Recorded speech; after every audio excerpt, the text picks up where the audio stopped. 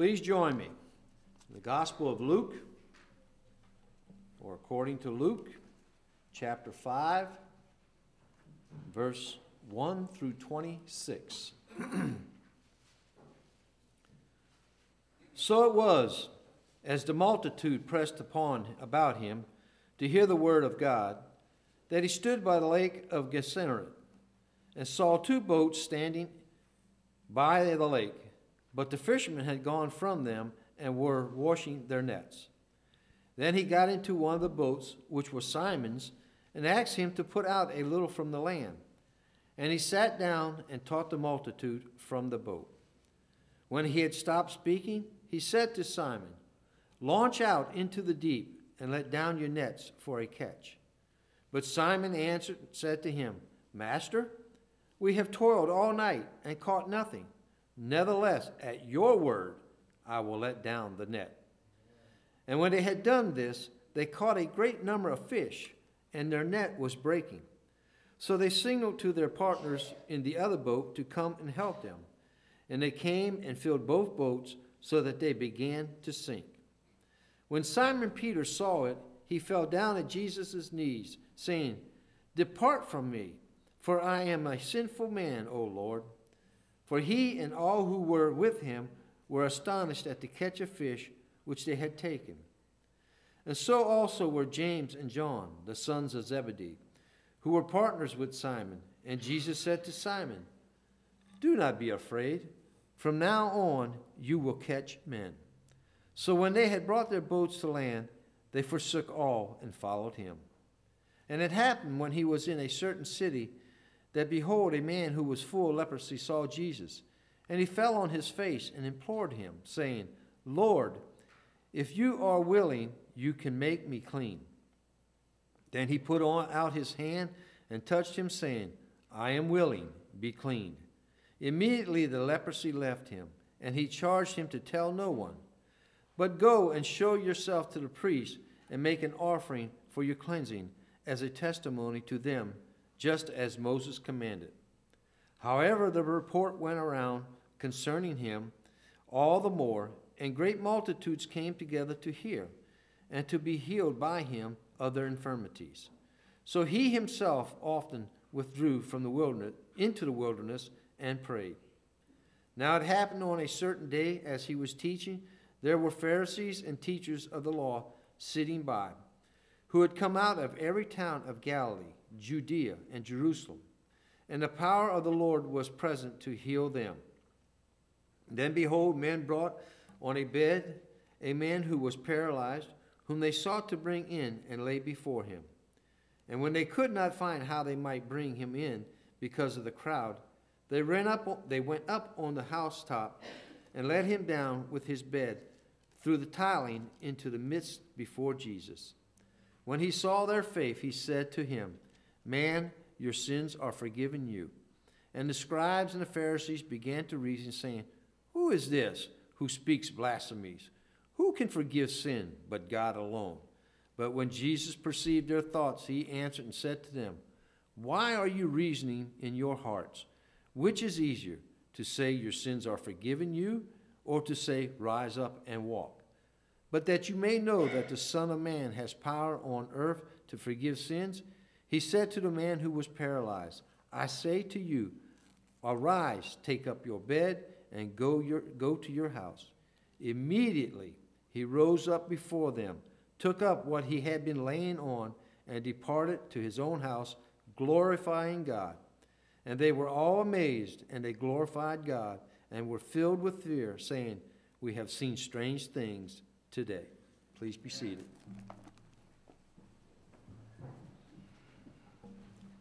Good morning to everyone. What a blessing, a privilege to be here.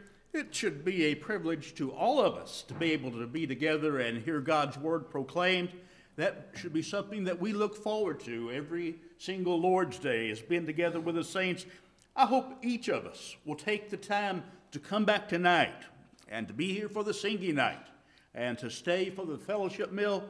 Plan to, to be, uh, spend time together. You know, uh, the young couple that uh, lost the one year old will be here tonight, and they're actually bringing a dish So we need to encourage them. Surely, if somebody in that situation can come, we ought to be able to come as members of the body of Christ. Now, this uh, past week when I was in Tennessee, and I appreciate the congregation giving the help, especially to Tina, you know, during a diff- difficult time. But I got to eat lunch with Bill and Lori Boyd and one of my brothers at, all at the same time.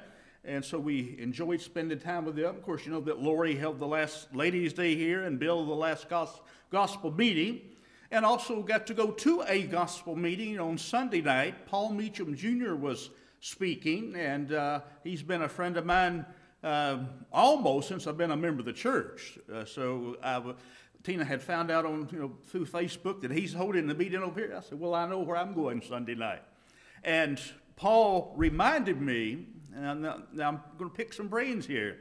Paul and his wife's name is April Meacham attended here as members at one point. Now, you that have come after Katrina, now you're certainly not going to remember, but uh, I would be interested to know if any of you remember them because he asked me, and so I'm going to have to tell him something. so, you that have been here uh, from maybe the beginning, Paul and April Meacham, and he's actually junior. I don't know if he was called that, but tell me if you remember him. I would, uh, I would be glad to know. Let's look at our uh, scripture text today. It's going to be a textual sermon rather than a verse here and a verse there. You know, there's both kinds of uh, different kinds of sermons that you preach. And so today we want to simply take the Bible out and go verse by verse and look at some verses that I think will teach us some uh, valuable lessons as we walk day to day. And brethren, what we need to do every day of our lives is examine ourselves to see if we be in the faith. Because our greatest purpose is to plan and prepare for heaven, isn't it? It's not all the things that this life has to offer. Oh, some of them are very good, aren't they? But that's not the greatest uh, uh, reason that we're here. The greatest reason that we're here is to serve God and to prepare to be with God after this life is over. But let's look at verse 1, and I want to make some points here. And it came to pass that as the people pressed upon him to hear the word of God, he stood by the lake of Gennesaret. A couple points here. Uh, one, I want to point out first Gennesaret, it's got four different names. You'll see it in different places. You may want to write these right by the, this name. And it, it, it's all the same, same sea. But the Sea of Gennesaret, as it's mentioned here, is also Tiberias, the Sea of Tiberias the Sea of Galilee, and I, I, know you, you hear that one. And one that you don't hear quite as much is the, is the Sea of Chinnereth, C H I N N E R E T H. And so you see those uh, names, and it's all talking about the same place. And now, when we realize that, that may help us to understand something. That, well, that's taking place in the same place. You know, that uh, maybe another event uh, transpired. But also, something that's very important and even more important than that, and I want to kind of move that out of the way, it says the people pressed upon the Lord to hear the word of God. Now that's good, isn't it?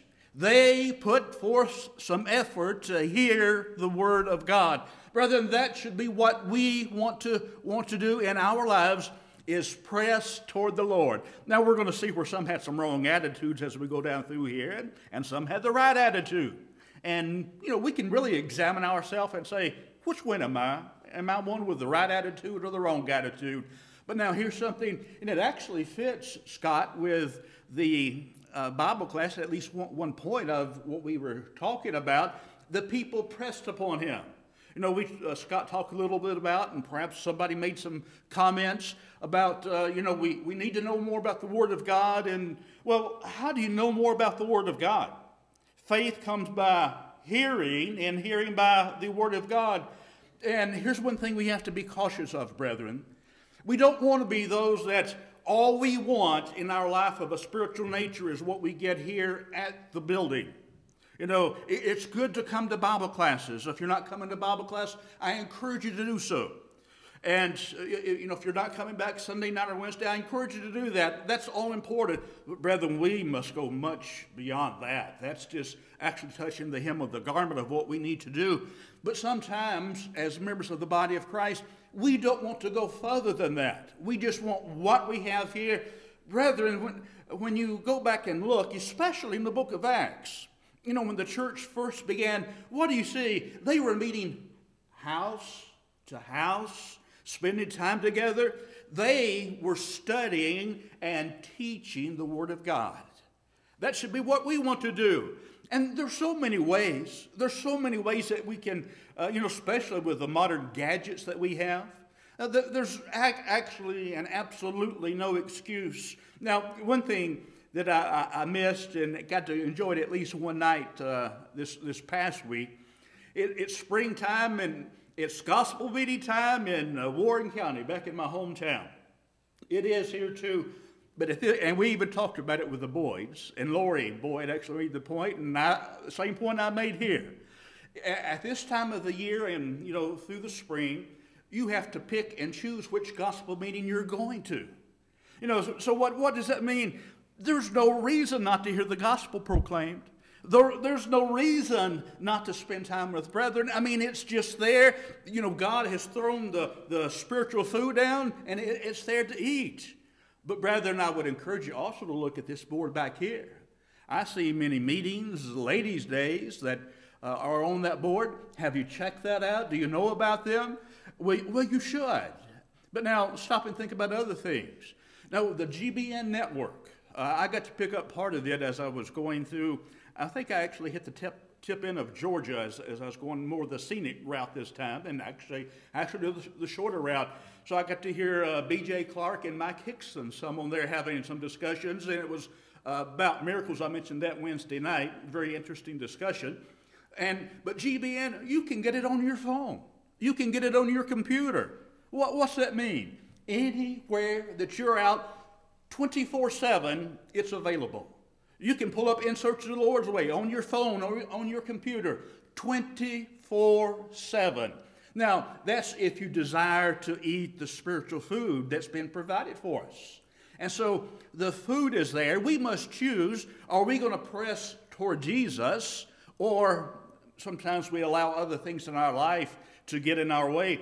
Brethren, we need to make sure they don't get in our way and that all of our spirituality is not gauged upon just being at the building and what we get here and saying, hey, I'll see you next, next time.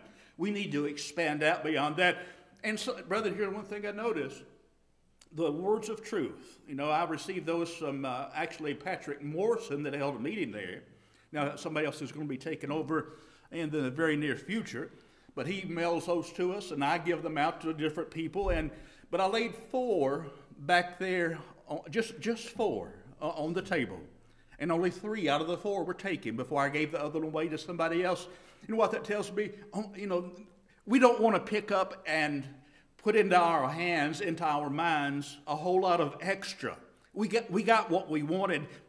Mm, got my, I, t- I stamped my ticket. Brethren, you've got to look for, for, uh, to uh, those things that are there for you. The bulletin's there for you. It has, it has spiritual food for you that you can take advantage of and hear the Word of God there's no reason, no reason for us not to know the will of God. You know, Claudia mails out the bulletin people, and she mails it out to people that have a desire to hear the Word of God.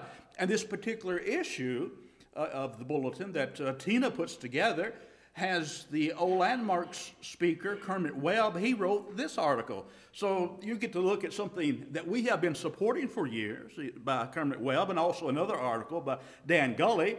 And you get to take those things and just sometimes a brief thought. It doesn't have to be, you know, you don't have to have, spend a few hours. Sometimes a few moments can really change our day when we spend it serving God and digging in His Word just some thoughts sometimes can provoke uh, uh, more thoughts. You know, when I heard, uh, heard Paul Meacham Jr. preach uh, Sunday night, I said, Paul, that was a wonderful sermon. I said, it's so good that I'm going to preach it next, next Sunday. And you know what Paul said? He said, Well, I don't know where I stole the outline from. You know what that tells you, don't you? Preachers uh, send outlines around, and, you know, uh, sometimes somebody say, Well, I read that somewhere else. Well, I'm glad you remember because sometimes we don't. We don't know where we got it at. You know, we try to give credit when credit's due. Actually, what I'm preaching now is not part of what Paul preached on. We may come to some of that. But you get thoughts. You should be getting thoughts as the Word of God is proclaimed, whether it be Scott teaching, me preaching, somebody else. We, we need to have those thoughts and we need to think on these things. We need to think on things that are spiritual. It changes our lives when we do that. You know, one thing I do, and, and I've told you this several times, this is kind of redundant, but it's still good. But I want to remind you two times I uh, go through the Bible completely, cover to cover, Genesis to Revelation, in the car. Because, I mean, you've got it there. You, you got it. You put it in, you listen to it. But now I say that for a reason, not just to say that I do that. You know, still, with that being said, I still have time to listen to talk radio or listen to some other CDs with music. I still have time to do that. We spend a lot of times in our car driving places, don't we? You can take advantage of whether it be GBN, listen to the Bible, whatever it may be. We have the time, brethren. We have to make sure that we use that time. Now, in verse 2, it says, And saw two ships standing by the lake, but the fishermen were gone out of them and were washing their nets. And he entered into one of the ships, which was Simon's, and prayed, prayed him that he would thrust out a little further from the land and sit down and taught the people out of the ship. Now, when he had left speaking, he said unto Simon, Launch out into the deep and let down your nets for a draught. And Simon answered and said unto him, Master, we have toiled all night and have taken nothing. Nevertheless, at thy word I will let down the net. Now, well, the uh, important point there, they're tired. They've been working all night. And some of you have been commercial fishermen. Uh, that's no easy, easy task. But he said, Since you've told me to do this, this is what I'm going to do. Rather than what does God tell us to do? Hasn't He told us to cast our nets out? Aren't we? Do you remember that we're fishers of what? Men? Did we take that class? What happened to that? You know, nobody in a long, long time has asked me, do, do you have copy number two? I'm studying with somebody. I wish they would. I wish somebody was using that and said, we need to order some more. Rather than we were taught, you know, so we've been taught, what are we doing? The Lord told them to cast their net out. Do you trust the Lord? He's told you to cast your net out. Are you willing to do what the Lord said? Peter and James and John, you're going to see here, you know, uh, they're going to do that. They're going to do what the Lord said.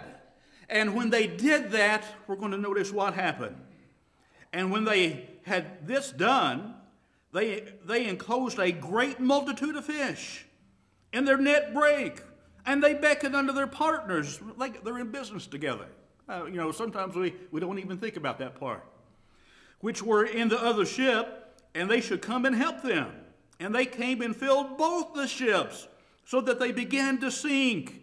Now, can you imagine that? You know, I, I would like to have been there. I would like to, I'd like to seen this. You know, the both ships, eh, they had so many fish, both ships are filled and are trying to sink.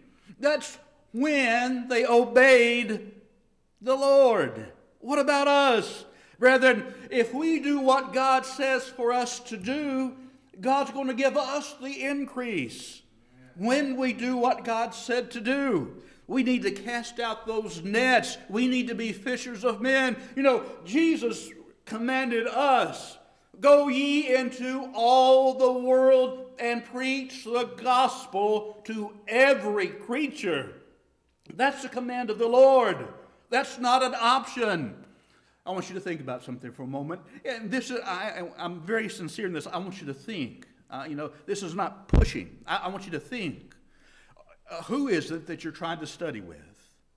You need to have somebody that you're praying about, that you're trying to study with. Now, and I want to do something. Sometimes you have to go slow, especially with certain people. You, you can't, you, you can't push people, you can't drive them.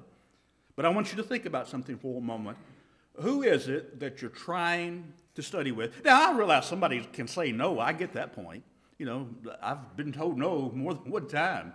But we need to be trying to study with people. That's a commandment of the Lord. That's not a commandment of the preacher. That's what Jesus himself said. So we ought to be doing that. It says, when Simon Peter saw it, he fell down at Jesus' knees, saying, Depart from me, for I am a sinful man, O Lord. He realized the power that Jesus Christ had. Lord, I'm not worthy to be in your presence.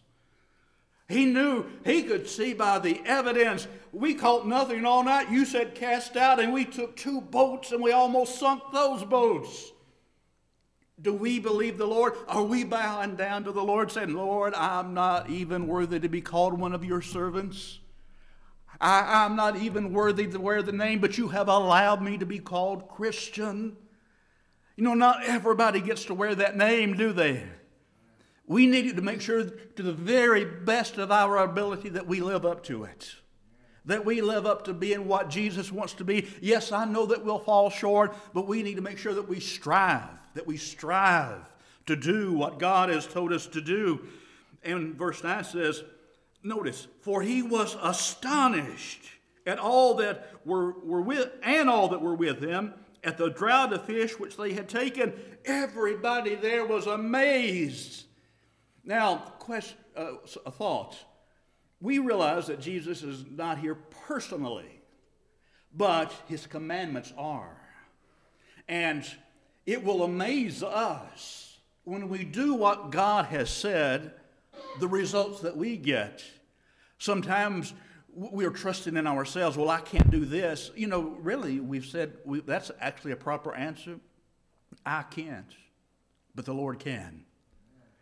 And if I'll do what He said, now I say I'm doing the work of the Lord. I'm not doing the work of somebody else. The Lord's never been a failure. His word never turns returns void. It always accomplishes everything that was supposed to do. Every single thing. And when you do what God said, even in your personal life, you, you know, even if you ask people to study and they say no and they, or they quit the study, uh, that's not on you, that's on them. You know, Thursday night I studied with a man and for uh, over an hour and claimed to be a member of the church and wanted me to reach out to his father, but first he wanted to check me out. And I thought when he said he wanted to check me out, I thought he'd make sure that I wasn't doing something unscriptural. That's, I thought this would be good. This won't last but a second. It turned into quite a, a lengthy conversation. He wanted somebody that thought, well, anybody that believes in Jesus Christ, even if they're, in denominations, oh, no, no, no, no, no, we're not going down that road. I'm, I'm, I'm sorry. I, you know, I want to reach out to your father, and I'll be happy to do that, but we need to look at some scriptures. We need to look at what the Bible says. And we'd re- read a Bible. Sometimes I even let him read it. He, he'd do the reading and he'd just go to something else that he thought. Brethren, man can't save himself. O Lord, I know the way of man is not himself. It is not in man that walks to direct his steps. Jeremiah 10, verse 23, we have to do what the Lord says. Now, question. I tried to reach out to this man and study with him. Up to this point, he rejected the word of God. That's not on me, that's on him. But nevertheless, I'm going to reach out. I'm going to reach out to people. You know, some are going to reject things that you try to do to encourage and help. You still reach out. You still do the will, will of God. Now, notice verse 10 and so was also James and John, the sons of uh, Zebedee, which were partners with Simon. And, you know, they were amazed as well, if you remember what we were seeing. And Jesus said unto Simon, Fear not, for henceforth Thou shalt catch men. Brethren, that is us that Jesus, Jesus just described right there. And it should describe us, shouldn't it? It should describe what we are every day of our life. That we're fishers of men. We're disciples of the Lord. We should stop and think for a moment. You can't be a disciple of the Lord if you're not doing what the, the one that you're following says, can you? You know, the thing, you know, I, I lived in Arizona at one time doing mission work, Mormon country. We were really close to Utah, so it was Mormon country. Could I claim to be a Mormon if I weren't, weren't following the Book of Mormon and following their doctrine? How, how could I? Well, I'm a Mormon. They would say, well, you don't, you don't do anything, you do everything contrary to what we do. But, but I'm a Mormon. Could you claim to be a member of the body of Christ and a disciple of Jesus if you're not doing what the Lord says. We're not, obviously, you don't get too over concerned, and we're not going to try to finish all these verses today. Thought about it, but I, I don't know how with some of those. But that's a pretty good place to stop, isn't it? Now you're fishers of men, disciples of the Lord. Man, we should, not arrogantly, not with pride, we should thankfully wear the title of Christian and be glad that the Lord has commanded us and allowed us to be his servants and to go into all the world. Now, Jesus had a very simple plan, didn't he? He that believeth and is baptized shall be saved. He that believeth not shall be damned. Have you obeyed the gospel? Perhaps you've done that and you've let it slip. You know, we, this certainly fits about being a disciple, doesn't it? Change that. Change that. Change it today. You know, one thing we have in the Lord's church is uh, a, a, lack of participation by so many members, and it hurts the cause of Christ. Well, let, us let, change that. Let's, let, us let us change that at Chalmette. Let's change it percentage wise that we have more people participating. I want you to think about, uh, and if you're not aware, so need to look at some, we'll, we'll remind you. First, you can look on the board and see so many events. But look at Chalmette. We've got a men's breakfast coming up. They won't let me cook. I could do some other things, but they won't let me cook. And that's wise. And we've got a youth night coming up. We've got a gospel meeting coming up. I'm, you know, Mickey's coming. I, you know, we sometimes we do what we can. A lot of things that, you know, if you're not involved, it's not because there's not opportunities, is there? Is it? Is what I should have said. See, the opportunities are there. Be disciples. Serve the Lord. Oh, the opportunity is there. We just got to seize the opportunity, don't we? This morning, would you do that? If you need to respond, would you do